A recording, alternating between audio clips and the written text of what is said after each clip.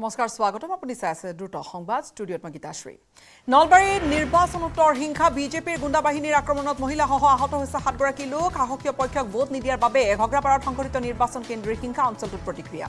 অহা পাঁচ দিনলৈকে ৰাজ্যৰ বিভিন্ন স্থানত প্ৰবল বৃষ্টিপাতৰ আগজাননী তিনিদিনলৈকে প্ৰতি ঘণ্টা ত্ৰিছৰ পৰা চল্লিছ কিলোমিটাৰ বেগত আহিব ধুমুহা। উজনি অসমত অধিক বৰষুণ হোৱাৰ আগজাননী দুহেজাৰ পোন্ধৰ চনত দিছপুৰত সংঘটিত চাঞ্চল্যকৰ হত্যাকাণ্ডৰ ৰায়দান পাঁচ দোষীক যাৱজ্জীৱন কাৰাদণ্ডৰ ৰায় গুৱাহাটী সত্ৰ ন্যায়াধীশৰ আদালতৰ ভূমি বিবাদক কেন্দ্ৰ কৰি হত্যাৰ বলি হৈছিলে হৰেণ কলিতা নামৰ এগৰাকী লোক। নতুন দিল্লীত পদ্মশ্ৰী বঁটা গ্ৰহণ কৰিলে অসমৰ প্ৰথমগৰাকী মহিলা মাল পাৰ্বতী বৰুৱাই হস্তি সংৰক্ষণৰ বাবে পদ্মশ্ৰী বঁটা লাভ কৰিছে। ৰাষ্ট্ৰপতি ভৱনত ৰাষ্ট্ৰপতি দ্ৰৌপদী মুৰ্মুৰ পৰা গ্ৰহণ কৰিলে বঁটাটি যোৰহাটত আৰক্ষীৰ গুলীচালনাত ব্যৱহৃত বন্দুক জব্দ কৰা হৈছে এঘাৰ।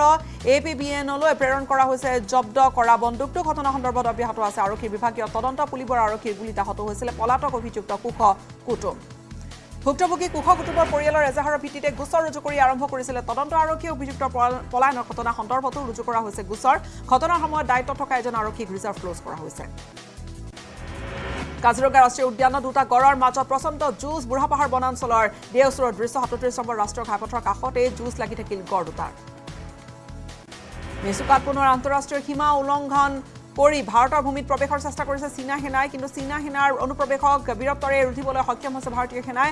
ভাৰতীয় সেনাই খেদি পঠিয়াবলৈ সক্ষম হয় চীনা সেনাক ইতিমধ্যে ছ'চিয়েল মিডিয়াত ভাইৰেল হৈ পৰিছে ভিডিঅ' ৰূপহীহাটৰ বড়ি বজাৰ আৰক্ষী পহৰা চকীৰ সন্মুখত ৰহস্যজনকভাৱে উদ্ধাৰ কৰা হৈছে এজন যুৱকৰ মৃতদেহ। চৰকাৰী কামৰ বাবে খন্দা এটা গাঁতত উদ্ধাৰ কৰা হৈছে মৃতদেহটো। মৃতদেহটো ওমৰ ফাৰুক নামৰ এজন যুৱকৰ বুলি চিনাক্ত কৰা হৈছে। আৰক্ষী চকীৰ পৰা মাত্ৰ পঞ্চাছ মিটাৰ আৰু যুৱকজনৰ ঘৰৰ পৰা মাত্ৰ এশ মিটাৰ নিলগত উদ্ধাৰ মৃতদেহ।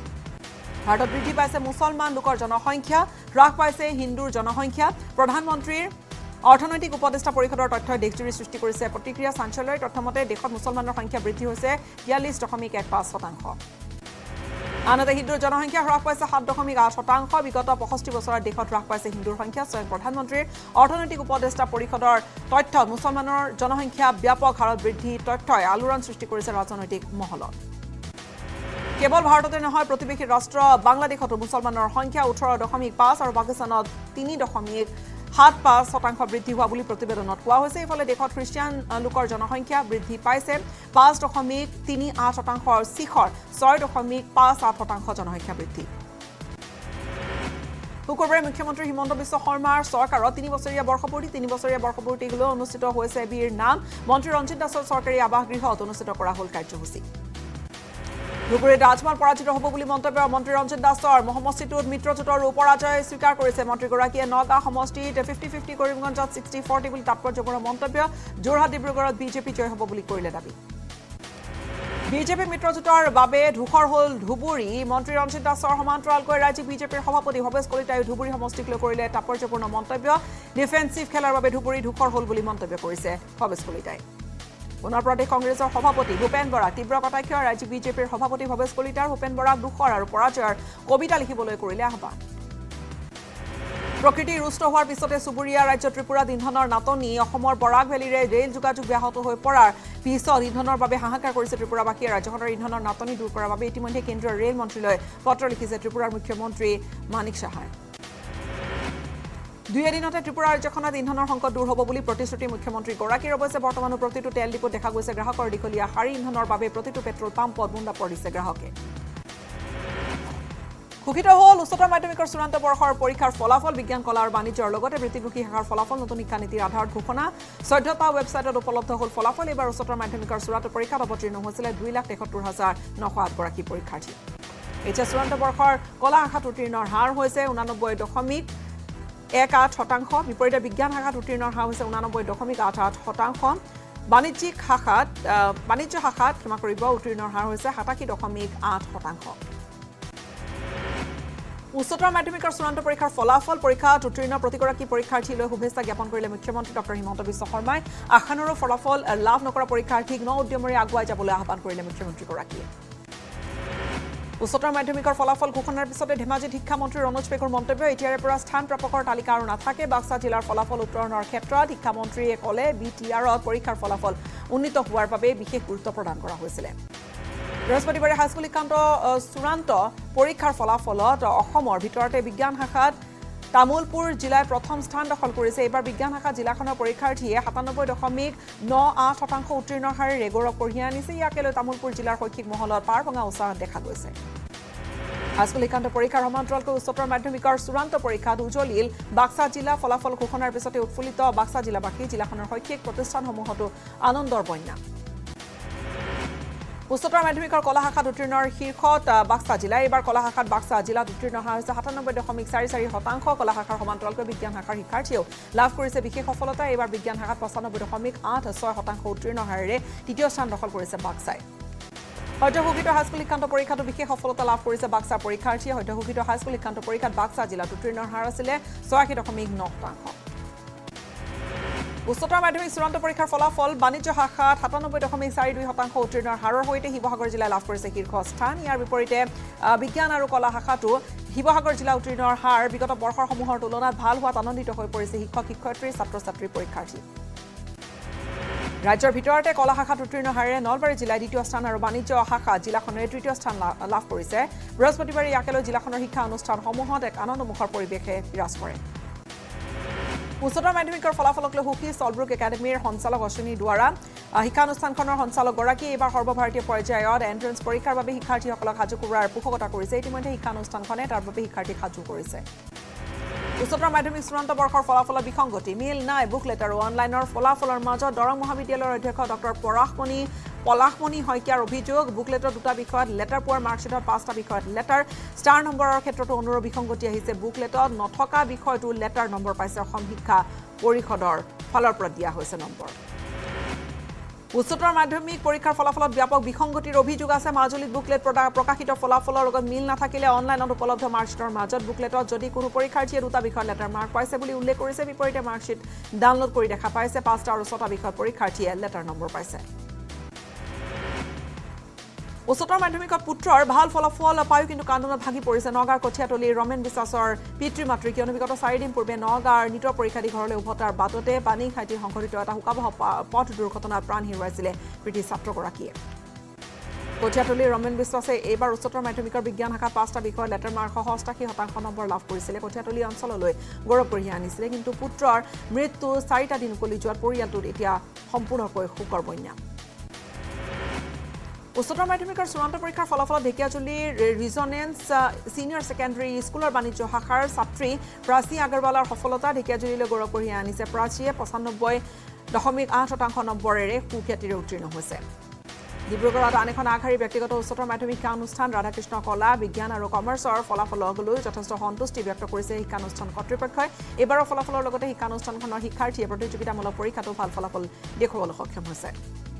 সদ্যঘোষিত হাইস্কুল শিক্ষান্ত পৰীক্ষাত সুখ্যাতিৰে উত্তীৰ্ণ হ'ল জামুগুৰিহাটৰ পাতলৰ চুক গাঁওখনৰ দুই যমজ ভগ্নীয়ে গুণগুণ আৰু ৰুণজুন নামৰ এই দুই যমজ ভগ্নীয়ে হাইস্কুল শিক্ষান্ত পৰীক্ষাত সমানে সমানে বাসত্তৰ শতাংশ নম্বৰ লাভ কৰিছে। ৰাজ্যৰ মুখ্যমন্ত্ৰী ডক্টৰ হিমন্ত বিশ্ব শৰ্মাৰ নিৰ্বাচনী প্ৰচাৰ বৃহস্পতিবাৰে উৰিষ্যাত তিনিখন নিৰ্বাচনী সভাত অংশ লয়। উৰিষ্যাৰ মালকানগিৰিত মুখ্যমন্ত্ৰীৰ প্ৰথমখন সভা তাৰপিছত চিত্ৰকুণ্ডাতো এখন জনসভাত ভাগ ল'লে মুখ্যমন্ত্ৰীয়ে। উৰিষ্যাৰ খাল্লিকোটতো মুখ্যমন্ত্ৰীগৰাকীৰ বিশাল নিৰ্বাচনী জনসভা উৰিষ্যাৰ পিছতে শুকুৰবাৰে পশ্চিমবংগত প্ৰচাৰ চলাব। মুখ্যমন্ত্ৰী ডক্টৰ হিমন্ত বিশ্ব শৰ্মাই ইয়াৰ পিছতে শনিবাৰে তেলেংগানাত নিৰ্বাচনী প্ৰচাৰ কৰিব। পিতৃ গুৰুলা গুৰুলকৈ প্ৰহাৰ কৰা বাসান পুত্ৰ প্ৰবাল দাসক জামিনত মুকলি কৰিলে আৰক্ষীয়ে জন্মদাতা পিতৃক ৰাজপথত চোচৰাই প্ৰহাৰ কৰিছিলে। প্ৰবালে ঘটনাৰ পিছতে বিয়লি চানমাৰী আৰক্ষীয়ে গ্ৰেপ্তাৰ কৰিছিলে। কুলাংকাৰ পুত্ৰ প্ৰবালক।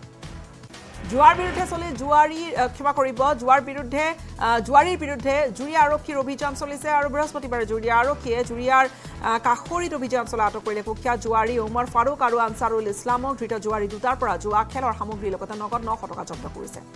মৈৰাবাৰী লেংৰি বৰীত চাইবাৰ অপৰাধী গ্ৰেপ্তাৰ কৰিছে। ইয়াকে লৈ দুই পক্ষৰ মাজত প্ৰচণ্ড মাৰপিটৰ ঘটনা। কুখ্যাত চাইবাৰ অপৰাধী মানিজ আলী ওৰফে মাইনুল মুন্সিক গ্ৰেপ্তাৰ কৰিছে আৰক্ষীয়ে।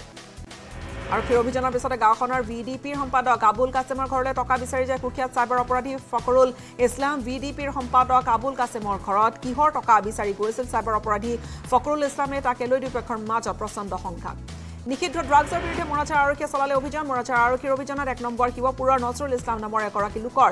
এটা ড্ৰাগছ সৰবৰাহকাৰীৰ পৰা ড্ৰাগছ জব্দ কৰিছে গ্ৰেপ্তাৰ কৰিছে সৰবৰাহকাৰী ধৃত সৰবৰাহকাৰীটোৰ পৰা উদ্ধাৰ কৰিছে চাৰিটা হেৰইন ভৰ্তি কণ্টেইনাৰ বিগত নটা দিনে নিৰুদ্দেশ দেখুৱাইছে জাগিৰোডৰ হিন্দিশ্বৰ গাঁৱৰ গোবিন্দ থাপা নামৰ লোকগৰাকী এক মেৰ পুৱাই চাইকেল লৈ কামলৈ ওলাই গৈছিলে কিন্তু বিগত ন দিনে কোনো খা খবৰ নাই।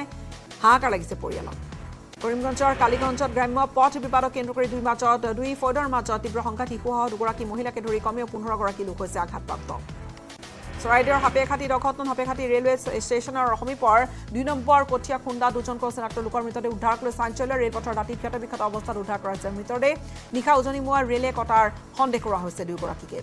দুই নাবালিকাৰ দলবদ্ধ ধৰ্ষণ কাণ্ডক লৈ উত্তাল হৈ আছে মানকাছৰৰ অসম মেঘালয় সীমান্ত যোৱা ষোল্ল এপ্ৰিলতে ঘটিছিল ঘটনা। পঁচিছজনীয়া ধৰ্ষণকাৰী দল এটাই ধৰ্ষণ কৰিছিলে নাবালিকা দুগৰাকীক ইয়াৰ পিছতে দলবদ্ধ ধৰ্ষণ কাণ্ডৰ ন্যায় বিচাৰি মেঘালয়ৰ হাছুৰাৰ পৰা বিভিন্ন ঠাইলৈকে জিলা আয়ুক্ত কাৰ্যালয়লৈকে মৌন প্ৰতিবাদ উলিয়ালে অঞ্চলবাসীয়ে। মানকাছৰ অসম মেঘালয় সীমান্তৰ দুই নাবালিকাৰ দলবদ্ধ ধৰ্ষণকাৰীক বিচাৰি তদন্ত অব্যাহত ৰাখিছে মেঘালয়। গাৰোবান্দা আৰক্ষীয়ে অঞ্চলটোত অভিযান চলাই পৰ্যন্ত নটা অভিযুক্তক গ্ৰেপ্তাৰ কৰি জেল হাজতলৈ প্ৰেৰণ কৰিছে। মহানগৰী স্কুল বাছৰ ব্যাপক বিসংগতি পৰিবহণ বিভাগৰ অভিযানত ওলাই পৰিছে কথা। মহানগৰীৰ কেইবাখনো স্কুল বাছত অভিযান চলালে এনফৰ্চমেণ্ট বিভাগে শ্ৰীমন্ত শংকৰদেৱ একাডেমীৰ তিনিখনকৈ বাহন জব্দ কৰা হৈছে। সা সুবিধা শিক্ষাৰ্থীৰ বাবে নাই বাহনত। বৰঝাৰা ডেকাপাৰাত পত্নী হত্যাকাৰী গ্ৰেপ্তাৰ পত্নী হত্যাকাৰী গৌতম বৰুৱা গ্ৰেপ্তাৰ ভাড়াঘৰত পত্নীক হত্যা কৰি পুতি থৈছিল মৃতদেহ। আঠচল্লিছ ঘণ্টাৰ অন্তত আৰক্ষীয়ে গ্ৰেপ্তাৰ কৰিছে।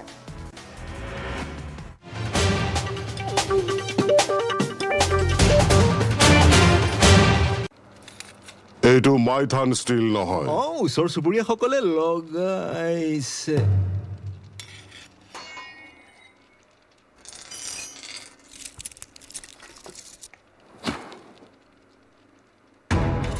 ষ্ট্ৰং মানে?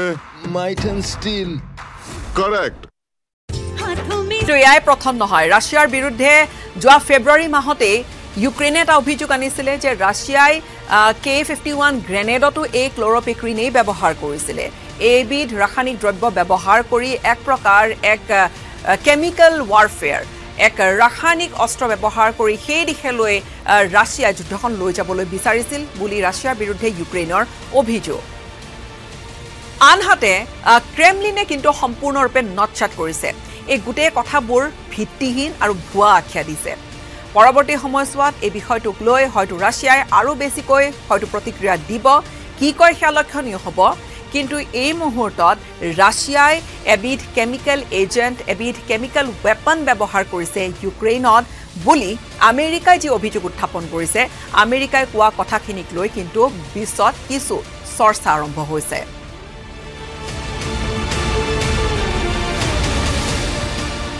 আৰু আনহাতে ৰাছিয়া আৰু ইউক্ৰেইনৰ যুদ্ধখনো আৰু কিমান দিন চলিব এই সংঘাতৰ অন্ত কেতিয়া পৰিব সেয়াও এটা উত্তৰবিহীন প্ৰশ্ন হৈ ৰৈছে।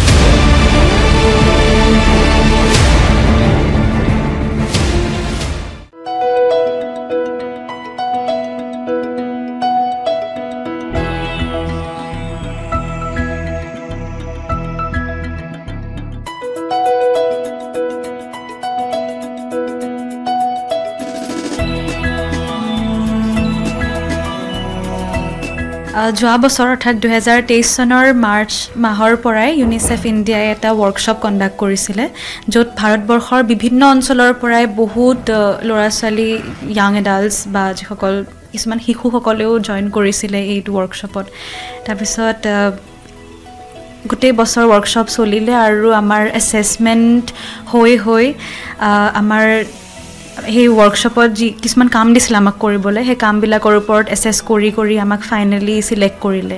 গোটেই ইণ্ডিয়াৰ পৰা আমি চাৰিজন বৰ্তমান ইউথ এডভকেট হিচাপে চিলেক্ট কৰা হৈছে আমাক। শেহতীয়াকৈ যিহেতু তুমি কৰিণা কাপুৰখনক লগ পালা সেই গোটেই অনুষ্ঠানটোত কেনে কেনেধৰণৰ অনুভৱ কৰিণা কাপুৰক তুমি লগ পালা? খুব ভাল লাগিল কৰিণা কাপুৰ মেমক লগ পাই আৰু তেওঁ ইমান কি কওঁ আৰু ইমান ভাল ব্যক্তিত্বৰ গৰাকী ইমান চিম্পল ইমান ডাউন টু আৰ্থ খুব ভাল লাগিল তেওঁৰ পৰা দুৱা মানে দুটা কথা শিকিবলৈও পালোঁ আৰু চবতছে ভাল মোৰ লাকৰ কথা ক'ম যে লাইফত কেতিয়াও মই পডকাষ্ট ইণ্টাৰভিউ কৰা নাছিলোঁ। মোৰ জীৱনৰ প্ৰথমটো পডকাষ্ট ইণ্টাৰভিউ মই কেতিয়াও ভবা নাছিলোঁ যে কৰিণা কাপুৰ খানৰ লগত হ'ব। ডেটটো মই তেওঁৰ ইণ্টাৰভিউ লৈছোঁ। গতিকে এইটো আৰু মানে ডাঙৰ কথা মোৰ কাৰণে গতিকে ব্লেছড আৰু।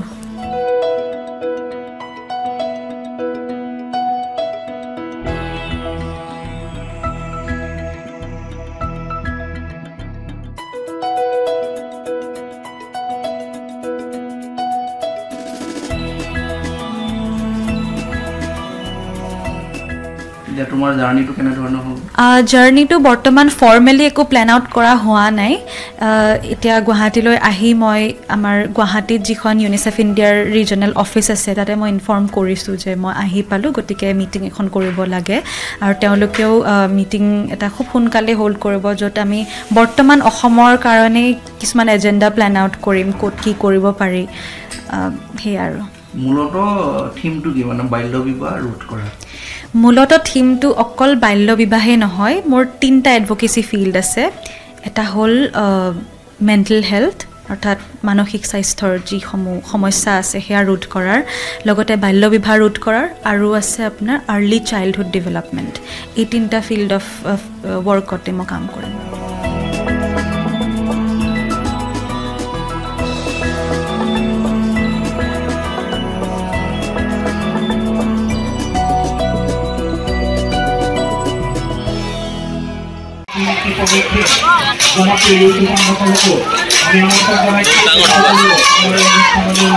পৰম্পৰাগত ৰীতি নীতিৰে আকৌ এবাৰ মুখৰিত হ'ল গছতলৰ বিহু। আধুনিকতাৰ ধামখুমীয়াত কালৰ সোঁতত হেৰাই যাবলৈ ধৰা গছতলৰ বিহু জীয়াই ৰাখিছে মটক জনগোষ্ঠীয় লোকে। তিনিচুকীয়া জিলাখনৰ লগতে কাষৰীয়া জিলাসমূহৰ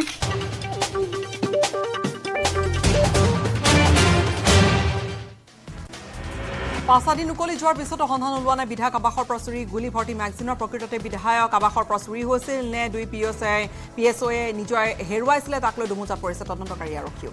ঘোষণা হ'ল এ পি এছ চি প্ৰাৰম্ভিক পৰীক্ষাৰ ফলাফল দুশ পঁয়ত্ৰিছটা পদৰ বাবে অনুষ্ঠিত হৈছিলে পৰীক্ষা। মূল পৰীক্ষালৈ যোগ্যতা অৰ্জন কৰিছে আঠাইছশ আঠান্নব্বৈগৰাকী পৰীক্ষাৰ্থীয়ে। পংখী সন্দিকৰ ৰহস্যজনক মৃত্যুক লৈ উত্তাল হৈ আছে শিৱসাগৰ। শিৱসাগৰৰ ডিমত সাতত্ৰিছ নম্বৰ ৰাষ্ট্ৰীয় ঘাইপথ অৱৰোধ কৰিলে। ৰাইজে বিচাৰিছে উচিত শাস্তি দোষীয়ে ৰাজ্যত ডেংগীত আক্ৰান্ত হোৱা লোকৰ সংখ্যা সোতৰগৰাকীলৈ বৃদ্ধি। বাক্সা জিলাত দুজন বৰপেটা পাঁচজন বগাইগাঁৱত এজন কাছাৰত ছজন চৰাইদেউত তিনিজন হৈ আছে এতিয়ালৈকে আক্ৰান্ত। জানুৱাৰীৰ পৰা এই পৰ্যন্ত এশ ছগৰাকী ডেংগীত আক্ৰান্ত হৈছে। বিগত বৰ্ষতকৈ চলিত বৰ্ষত ডেংগীত আক্ৰান্তৰ সংখ্যা কমিছে। যদিও স্বাস্থ্য বিভাগৰ তৰফৰ যাৱতীয় সকলো ব্যৱস্থা গ্ৰহণ কৰা হৈছে বুলি জনালে স্বাস্থ্যমন্ত্ৰী কেশৱ মহন্তই। কলিয়াবৰৰ হাতীমূৰাত ব্ৰহ্মপুত্ৰৰ মুখত চুইচ গেট নিৰ্মাণ কাৰ্য সম্পূৰ্ণ হৈ উঠিছে। ইতিমধ্যে সম্পূৰ্ণ হৈছে। কলংমুখৰ ব্ৰহ্মপুত্ৰৰ সৈতে সংলগ্ন নলা নিৰ্মাণ চলিত মাহতেই চুইচ গেটেৰে ব্ৰহ্মপুত্ৰৰ পানী কলঙত পেলোৱাৰ পৰীক্ষণ কৰিব বিভাগে। অত্যাধুনিক ড্ৰেজাৰেৰে কলঙৰ বক্ষ দ কৰা কাৰ্য আৰম্ভ হৈ বুলিও ক'লে আৰম্ভ হৈছে বুলিও ক'লে মন্ত্ৰী কেশৱ মহন্তই। দৈনিক দুইশৰ পৰা প্ৰায় দুশ মিটাৰ পৰ্যন্ত খান্দিব এই ড্ৰেজাৰে। কলিয়াবৰা হাতবৰা পথ দুৰ্ঘটনা বান্দৰক খুন্দা মাৰি পথৰ মাজতে বাগৰি পৰে বাইকত অহা দুগৰাকী ছাত্ৰীৰ লগতে এজন যুৱক। পথ দুৰ্ঘটনাত আহত দুয়োগৰাকী ছাত্ৰীৰ লগতে এজন যুৱক।